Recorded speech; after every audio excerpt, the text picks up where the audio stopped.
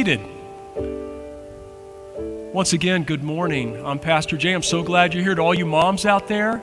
And I love what Lindsay said in her prayer. Also, the women in our lives who nurture us and help us, uh, sisters and, and, you know, nieces and all sorts of people who help us in our life, grandmas. Uh, God bless you today. So glad you're here.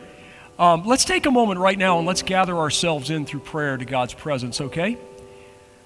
Heavenly Father, we come to you from a week that's been busy. There's been a lot going on. Uh, we feel like we're pulled in a million different directions. But right now, we want to just go in one direction. We want to look toward you. We want to hear what you have to say to us today. We want to be inspired by it. We want to be changed by it. Oh, Lord, give us our marching orders. But also, Lord, give us that assurance that even when we fall down, even when we can't make the march, we're too tired, you're with us, you love us. Father, embrace us with that comfort that we look for from mom. Help us, Lord, to walk now, holding your hands in your presence.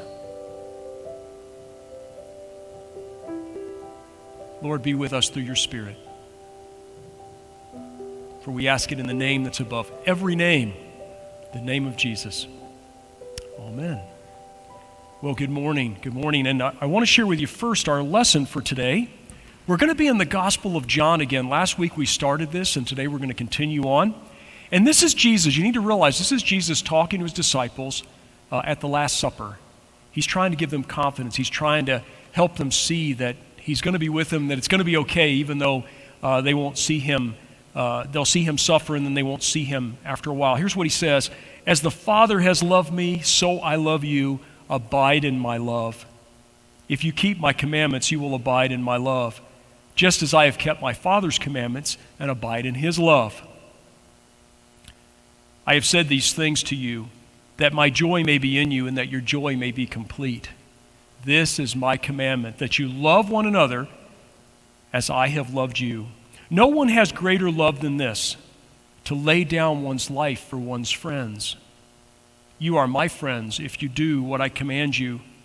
I do not call you servants any longer because a servant does not know what the master is doing, but I have called you friends because I've made known to you everything that I have heard from my Father.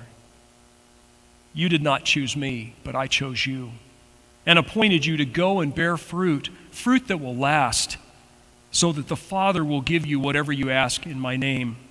I am giving you these commands so that you may love love one another. Here ends that reading. All right, let's have our children's time. if I can get rid of this frog, frog in my throat.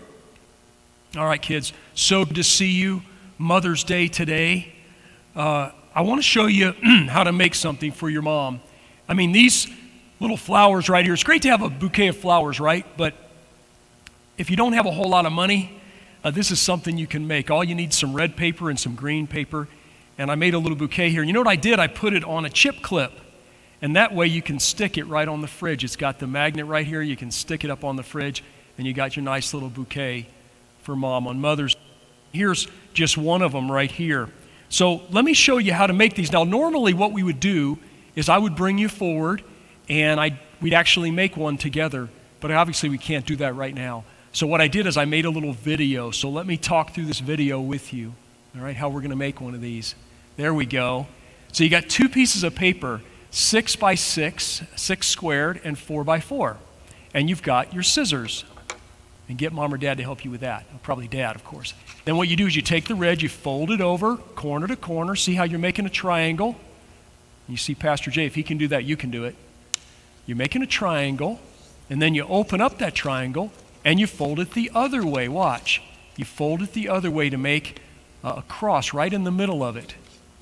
Okay? Now, what will happen next, you see, is you're going to fold up those edges, those corners, you're going to fold up not all the way, just a little bit to become uh, the petals on the flower. And there you go. And then on the back, what you're going to do is you're going to turn the insides in a little bit just to make it uh, look a little more like a flower. So let's see how this is going to look. I'm going to hold it up in a second. Look at there's the back and there's the front. See, it looks a lot like a flower. So you put the, uh, that over there, and then you grab the green paper and you fold it over just like that once. It's going to be a little different though, so you need to watch. You fold it over like that, and then you take those long parts, see the long part, and you fold it right to the center crease. And you do that on both sides. Try to be really careful to make it real nice and pointy on the end and get it nice and even. So there you go. It kind of looks like a big kite, doesn't it? It looks like a kite. So you do that, and then you turn it around, and look what happens. You're going to do the top part, the shorter part, you're going to fold over to the center. So there's one side, there's the other side. Okay, and the next thing you're going to do is you're going to take that long side and you're going to fold it in one more time. So it kind of looks like making a paper airplane. So watch this. You're going to take that long section, you're going to fold it into the center, and it gets a little tougher here because it's thicker. But you fold it into the center, make sure it's nice and neat, and you do the other one as well. Now, a tricky part is coming up right after this. You're going to fold that sharp, longer part down over top of the shorter part. So let me show you how to do that. And you kind of roll it with your fingers. Watch how Pastor Jay's doing. He rolls it with his fingers, and it goes right down you want it to match right up with the uh, wider end of things. So there you go. All right, and you crease that down, and then you take it and you fold it one more time down the middle. So there you go. Fold it over, and you're going to see a little bit sticking out the top, and that's going to be the stem for your flower. So you take that, you pull out the little center part like that. Look at that. You got your stem. And then there's a neat little trick you're going to do with your flower. Watch this. You're going to go back to your bloom you're going to take the bottom of it and you're going to snip it off. To help get, get your dad to help you with this. Snip off the bottom. There you go. And then you're going to stick it right in there. It's going to go right in that hole. It's not always easy to do, I found. You can put it right in that hole. And look at that. And you got a flower. And then let's see if we can get it to stand up. It should stand up on its own. Let's see if it'll do that. All right, there we go. Great.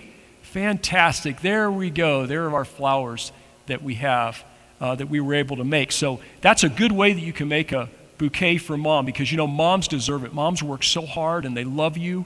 And you know what else we learned today is that moms and what they do for their children are a reflection of what God does for us. God loves us and cares for us. And so we say thank you to mom just like we say thank you to dad and our heavenly father. So let's put these up for now. And let's go to our lesson.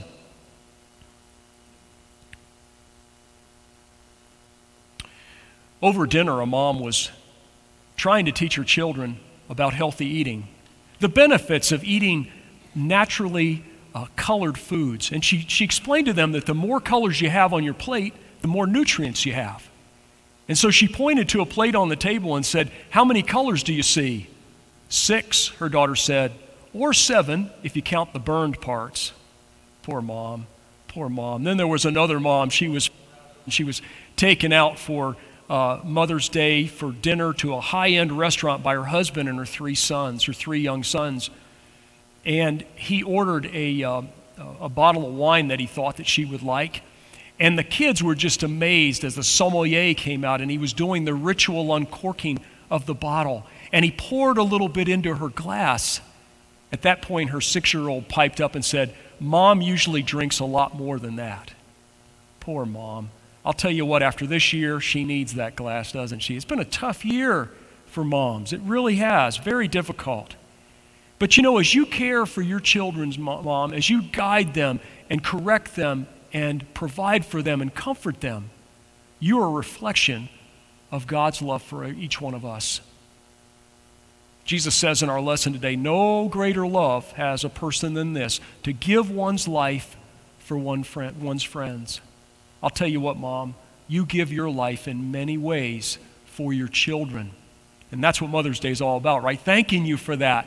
But did you notice in the gospel today, there was a lot of Father God talk? Did you see that? Four different times Jesus calls God Father. Now, you know, last July, I stood right here in front of you trying to be your pastor and you threw questions at me. We had a big crowd of people, and you threw questions at me. And one of the things that I was asked is, Pastor, are you okay with gender neutral terms for God, or maybe feminine terminology for God? And I said, absolutely. I said, I usually call God Father because that's the example that Jesus set for me. But we have to remember something, right? God is neither male nor female. Jesus tells us in John 4 24, that God is spirit, and those who worship God must worship in spirit or truth. So God is neither male nor female. But I, will tell you what, if you went out on the street and you asked somebody to describe God, I bet you 99 out of 100 would say he's an old man with a long white beard. And he's sitting up in the sky on a throne, and he's got some lightning bolts in his hand that he's ready to shoot down on sinners like us. They would see God in that kind of a male way, and yet that's not the case, is it? Because our God is neither male nor female. You know, one of the things we see from God is this sense of comfort. You know, our Heavenly Father comforts us. And that's something we say about moms, right? We say that moms comfort. Now, I know that you can run to your dad if you skin your knee, but who are you most likely going to go to? You're going to run up to mom, and she's going to wipe your tears, she's going to hold you in her arms, and she's going to make it all better. And I know dads can comfort too, but most of the time, it's mom, right? That comforts us. And we might ask, okay, if this is like God, then how can God, who is Spirit, comfort us? Well, there's a few ways God does that. First of all, through His Word. I've got my Lutheran Study Bible here today. And uh, God gives me promises in here, and He gives you promises that you are a beloved child of God. Nobody can snatch you out of His hand. You belong to Him. Nobody can change that. He also gives you the promise that you're His and part of His family in holy baptism that you can walk free every day because your sins are forgiven because of the price He paid on the cross.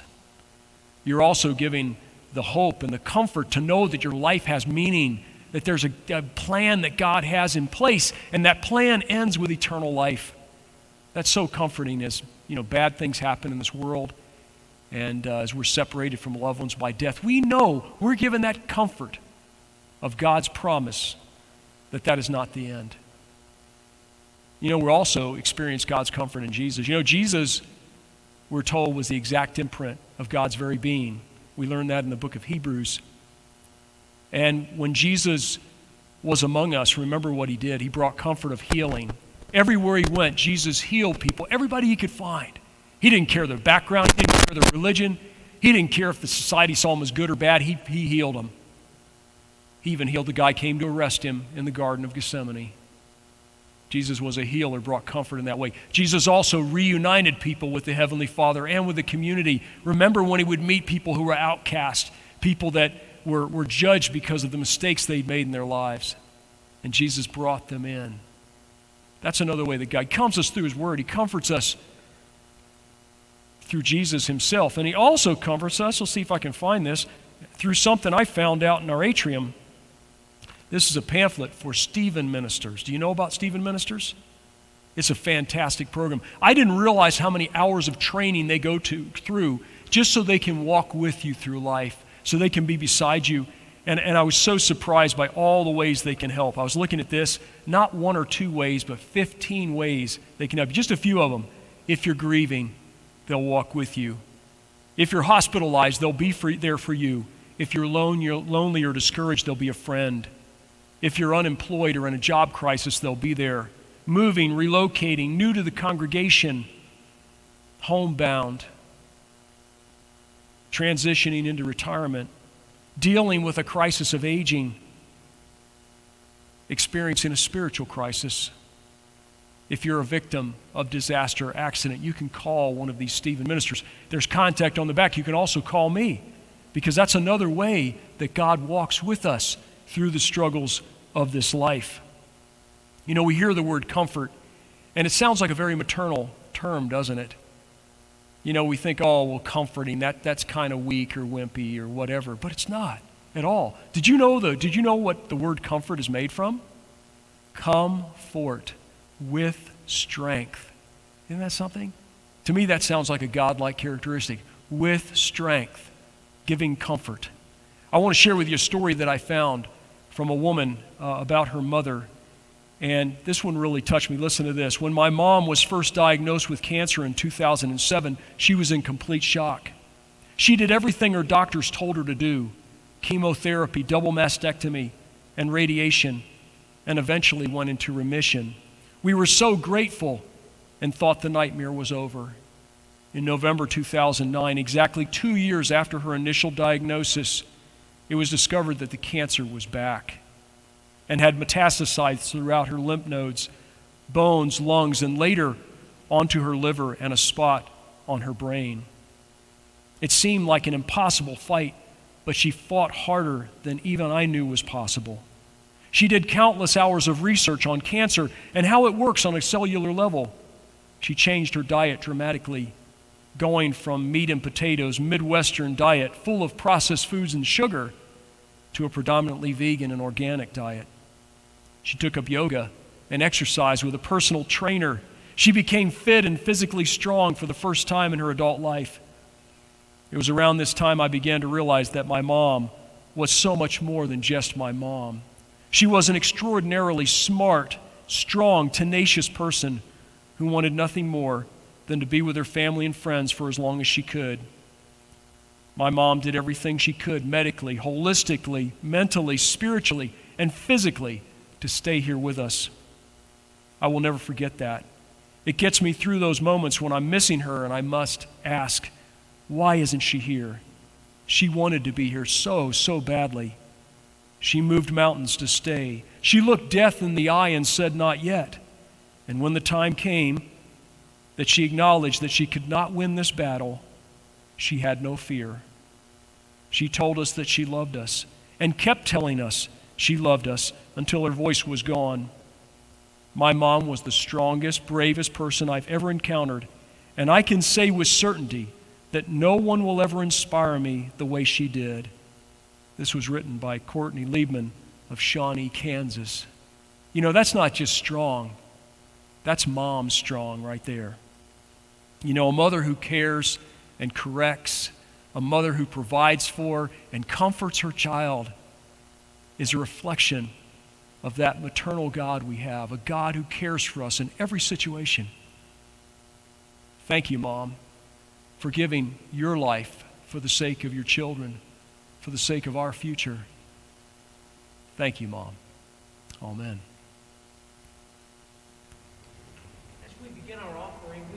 We ask that you connect with us online by filling out your online connection card. And also for the upcoming sermon series, Pastor Jay has asked, What are your questions? Question about your faith, question about Christianity, about the Bible, anything. You guys can go to our website at ctklutheran.org or you can slip a note in the box in the atrium. Thank you.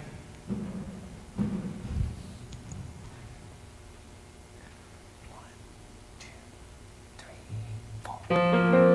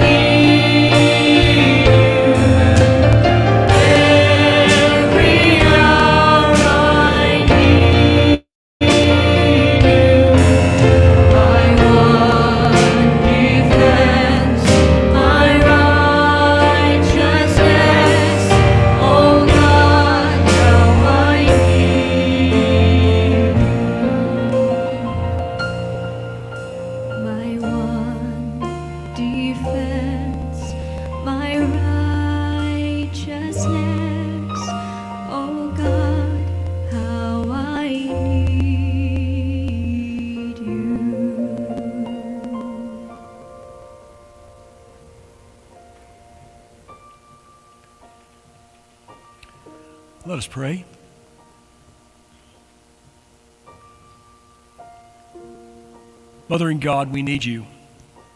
We need your care, your comfort, your guidance, and sometimes even your correction. Lord, be with us as we enter a new week. Remind us of who you are. Remind us of the care that we are given. And Lord, help us to look close by at our moms, at those who've cared for us, at the mothering people in our lives who have helped us through difficult times, who've enabled us, Lord, to get through impossible situations. Oh, Lord, help us appreciate those whose faces have reflected yours. Lord, we pray today for the moms in our church. We pray for all the women of our church. Bless them, O Lord. We also, Father, lift up to you those who are ill among us, those who need healing, those who need comfort, and those who need assurance as death draws near that you've got them, that they don't need to be afraid. Lord, give us the strength, give us the appreciation, give us the spirit so that we can reach out and be that mothering, that caring person to someone in our life, whether that's at work or in our home. Lord, wherever we are, give us that strength and that mission. Lord, we also ask you to be with this church going forward. We pray, Lord, that we could be a center for such care in this community and in the world. Lord, make us creative Make us open to the guidance that you have for us. And remind us, Lord, that we are ever and always safe in your embrace. Lord, we ask these things in the name of Jesus, the one who showed your love better than anyone else. We thank you for him. Amen. All right, well, we're going to receive Holy Communion. Hopefully, you got one of these kits on the way in. I mean, just think about this. Moms are famous for cooking dinner, they've got something on the table for you. And along with food that we eat, we also need spiritual food. We need our time of prayer, we need our time with the Bible, and we need the sacrament, we need Holy Communion. Because Jesus promised that this will give us strength. Jesus promised that this will give us an assurance of forgiveness as a physical sign you know, when I did the first communion with the kids, I showed them my wedding ring and I said, you know what? This is my reminder that my wife is committed to me. This is my reminder that she's promised to love me for better or for worse. This is Jesus' reminder that he's going to love you for better or for worse, that he's there for you, ready to feed you spiritually. So let's open the bread part, whether that's on the top for grape juice or on the bottom for the wine. Take that out, take it in your hands. And this is what Jesus said In the night in which he was betrayed, our Lord Jesus took bread and gave thanks, broke it, and gave it to his disciples, saying, Take and eat. This is my body given for you. Do this for the remembrance of me. Let's receive it together.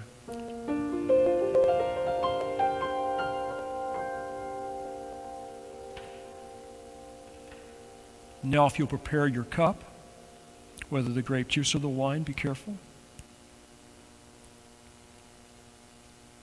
And then Jesus, on that same night of his arrest, said, In the night in which he was betrayed, took a cup and gave thanks and gave it to his disciples, saying, Drink of it, all of you. This is my blood shed for you for the forgiveness of sin. Do this in the remembrance of me. Let's receive this together.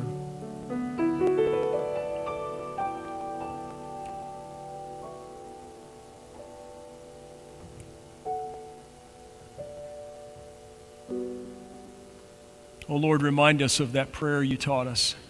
Our Father, who art in heaven, hallowed be thy name. Thy kingdom come, thy will be done on earth as it is in heaven. Give us this day our daily bread, and forgive us our trespasses, as we forgive those who trespass against us. And lead us not into temptation, but deliver us from evil. For thine is the kingdom, and the power, and the glory, forever and ever. Amen. Well, let's stand for our final song.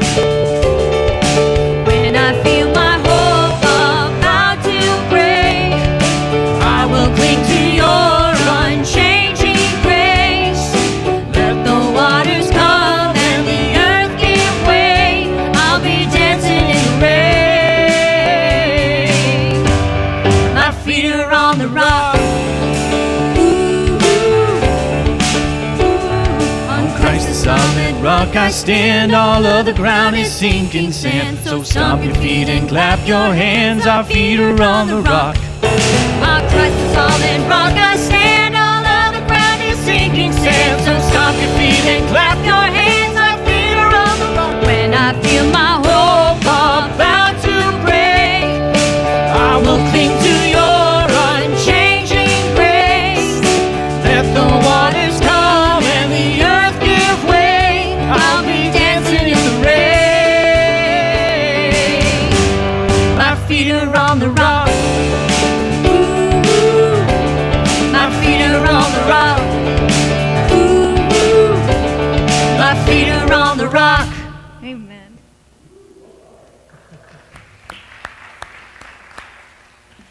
now, as you go on your way, may the living Lord go with you. May he go above you to watch over you, beside you to befriend you, within you to give you peace, and always before you to show the way. Amen.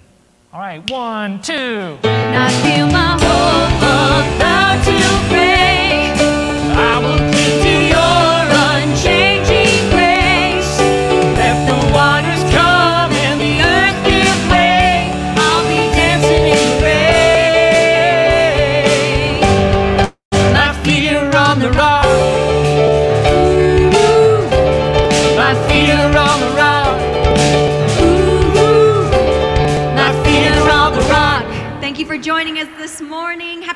Day, and we'll see you next week.